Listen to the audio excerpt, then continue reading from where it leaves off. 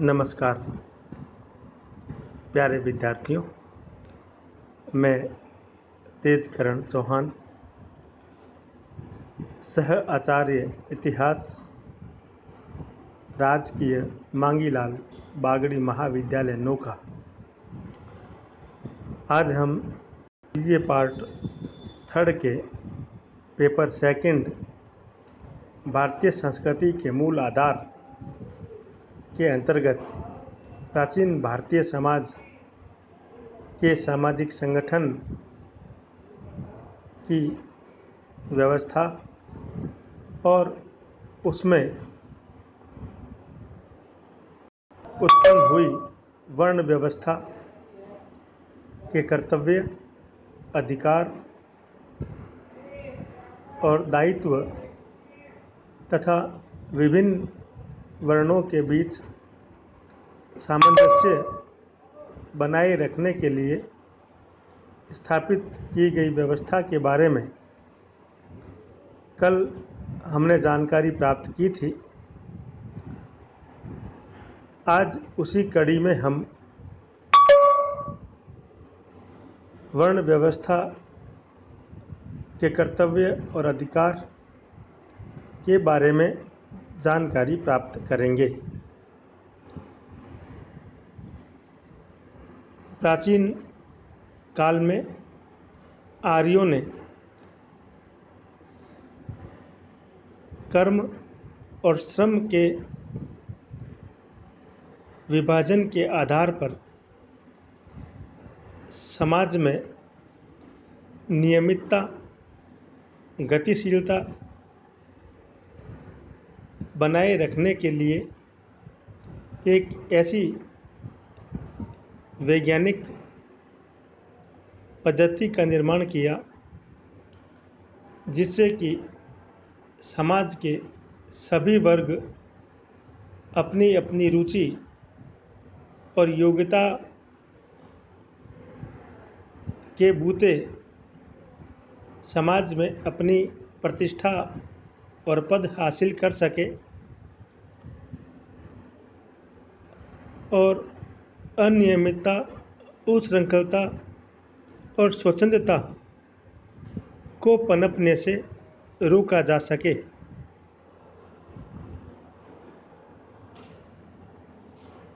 व्यवस्थाकारों ने प्राचीन काल में विभिन्न वर्णों के कर्तव्य और अधिकार निश्चित किए। हमारे धर्मशास्त्रों में इस चतुर्वर्णी व्यवस्था का विस्तृत विवेचन पाया जाता है।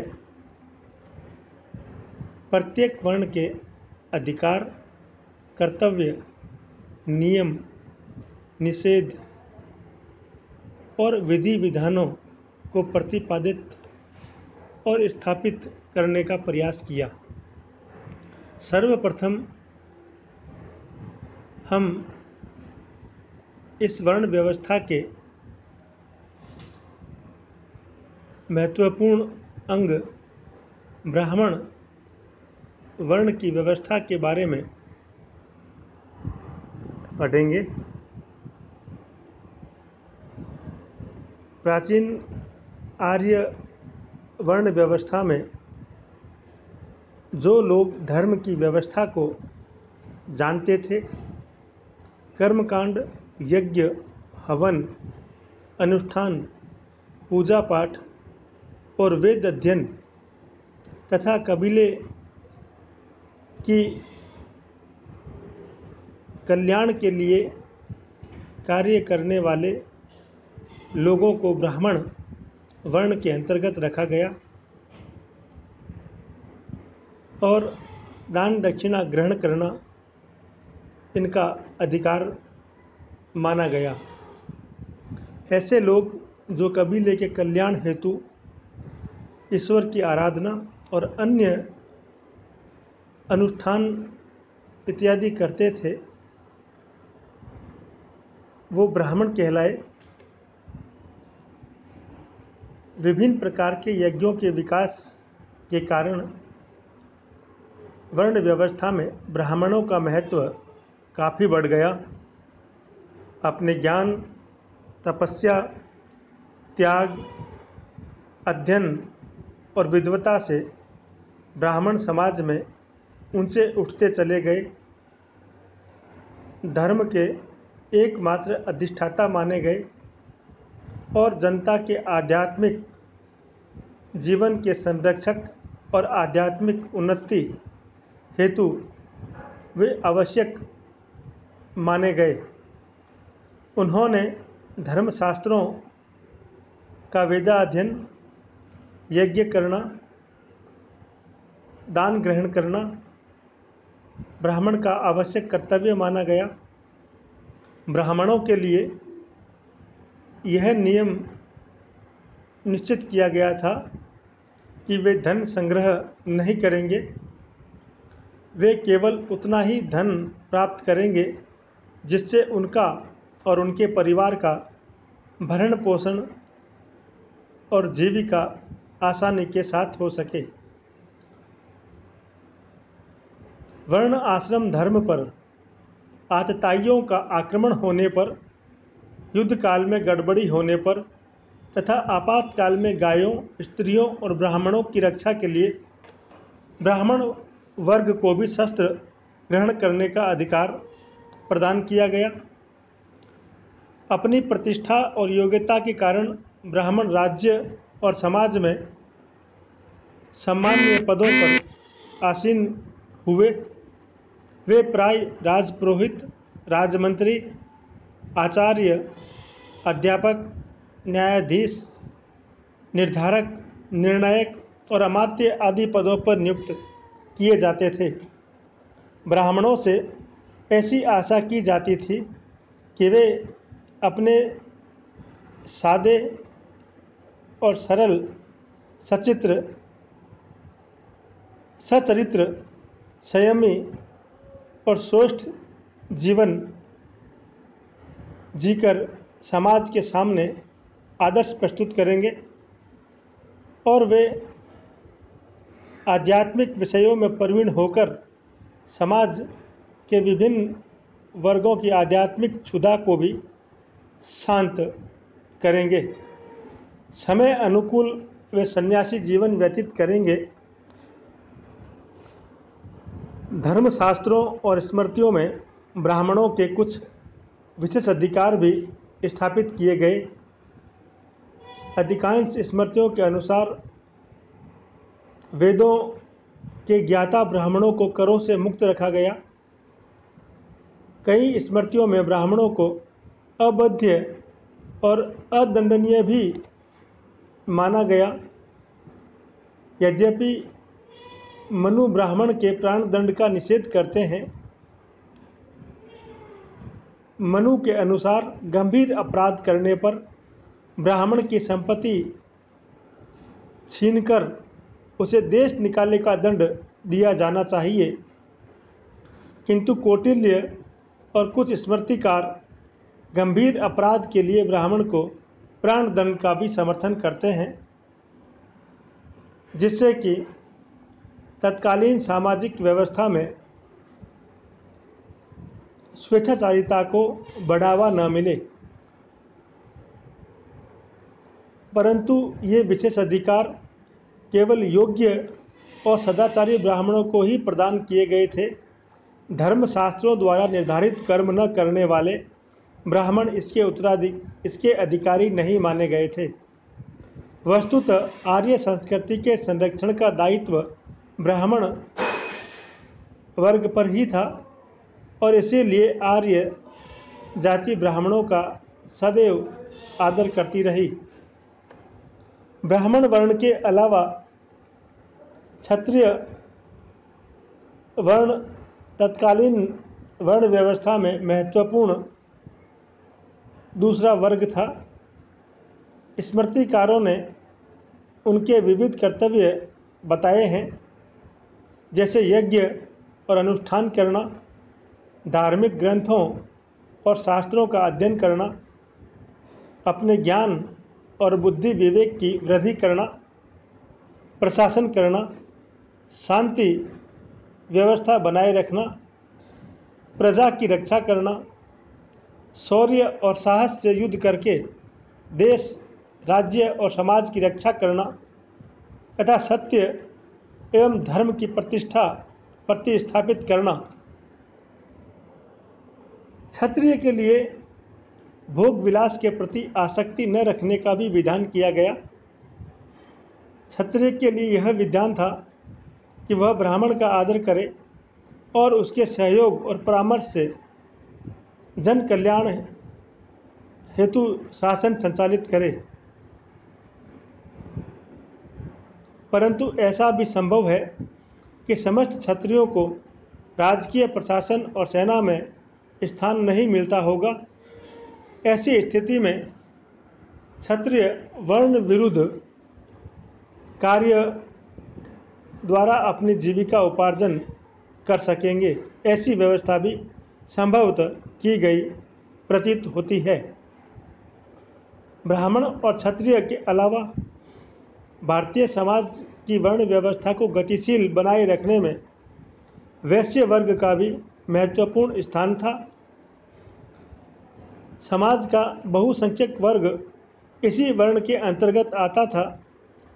उनके प्रमुख कर्तव्य कृषि करना, पशुपालन करना यज्ञ, हवन और अन्य धार्मिक कार्य करना, आयात निर्यात करना, व्यापार और वाणिज्य करना, ब्याज पर ऋण देना, व्यापार हेतु समुद्री यात्राएँ करना इत्यादि कार्य निश्चित किए गए थे। वे देश और राज्य की धन संपन्नता और समृद्धि की वृद्धि करने में योगदान देते थे। गाय, ब्राह्मण और वर्ण आश्रम धर्म की रक्षा करने हेतु वे शस्त्र भी धारण कर सकते थे। यदि वैश्य अपनी व्रति से अपना और अपने परिवार का भरण पोषण न कर सके तो उसे अन्य व्रति अपनाने का भी अधिकार प्रदान किया गया था। उपरोक्त तीनों वर्ण के अलावा वर्ण व्यवस्था में सबसे निचले पायदान पर शूद्र वर्ण का स्थान था। इस वर्ण में अनार्य जातियाँ, विजित और कृत व्यक्तियों को सम्मिलित किया गया था। कालांतर में अनार्य जातियों के साथ आर्यों की वर्ण संकर जातियाँ भी शूद्र समुदाय में सम्मिलित हो गई। सूत्रकारों की व्यवस्था के अनुसार शूद्र नितांत अधिकार विहीन और प्रतिष्ठा विहीन किए गए। उनका प्रमुख धर्म द्विज जातियों अर्थात ब्राह्मण, क्षत्रिय और वैश्य की सेवा करना और उनका भरण पोषण प्राप्त करना था। वह अन्य वर्णों के द्वारा उपयोग किए हुए वस्त्रों, आसनों, पदभागों इत्यादि को धारण कर सकते थे। उनकी अपनी कोई संपत्ति नहीं होती थी और शूद्र की यदि कोई स्वयं अर्जित की गई संपत्ति होती भी तो भी वह द्विज जातियों की समझी जाती थी। शूद्र को वेद अध्ययन और यज्ञ का अधिकार नहीं दिया गया। गौतम स्मृति के अनुसार यदि वह वेद मंत्रों का उच्चारण करता तो उसकी जीभ काट लेने की वो बात भी करता है। किंतु वे महाभारत और पुराणों का श्रवण कर सकते थे। मनु के अनुसार उनके समस्त क्रिया संस्कार बिना वैदिक मंत्रों के द्वारा संपादित हो सकते थे। शूद्र खान पान और गोत्र प्रवर इत्यादि प्रतिबंधों से मुक्त थे। विवाह के अलावा वे सभी प्रकार के संस्कारों के झंझटों से भी मुक्त थे। कालांतर में शूद्रों की स्थिति में सुधार आया और वे अपना जीवन निर्वाह करने के लिए बढ़ईगिरी चित्रकारी, पचीकारी, रंगसाजी, लुहारी और अन्य अनेक कर्म करने लगे और उसका अधिकार भी उन्हें मिला।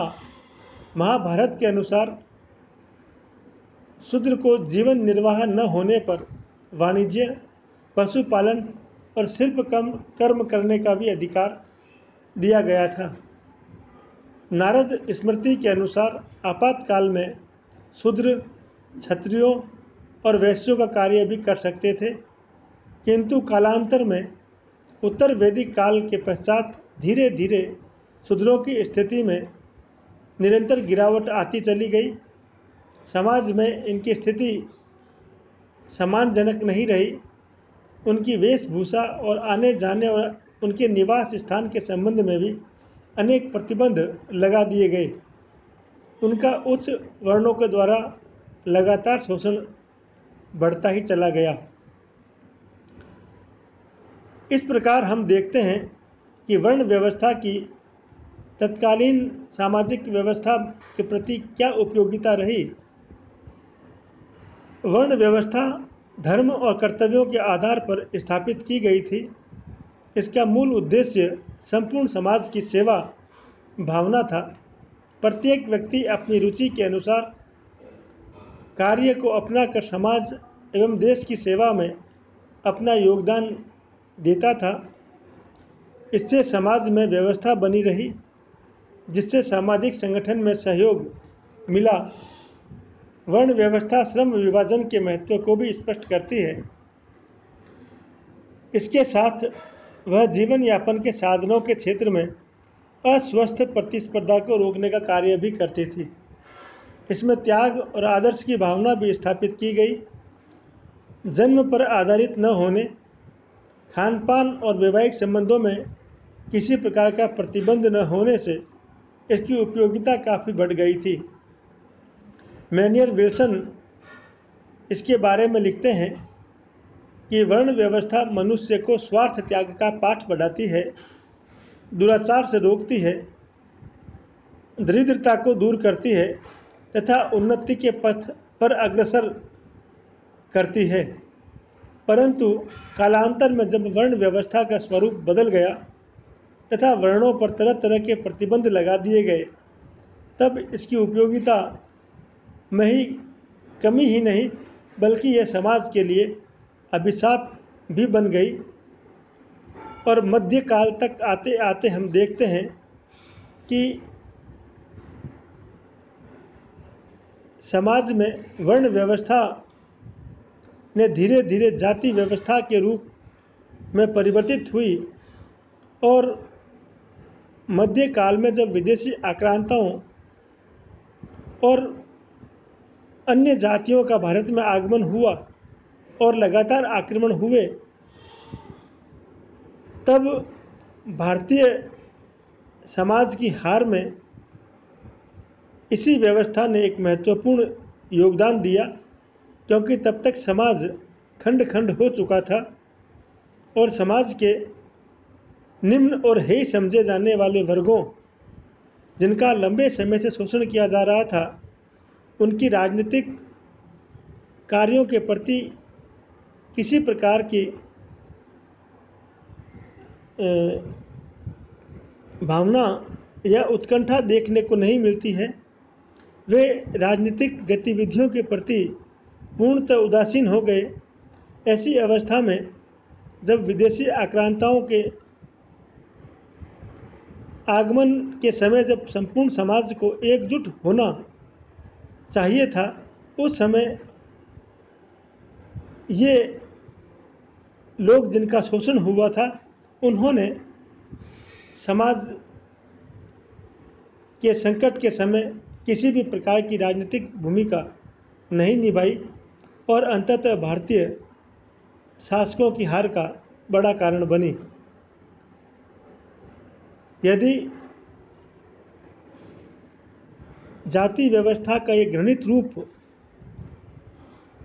विकसित नहीं हुआ होता तो संभवतः भारतीय राजाओं और नरेशों को विदेशी आक्रांताओं को भारत से बाहर खदेड़ने में अधिक समय नहीं लगता।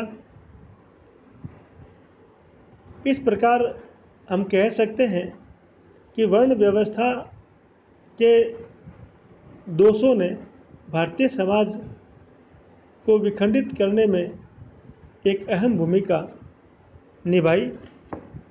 धन्यवाद। जय हिंद। जय भारत।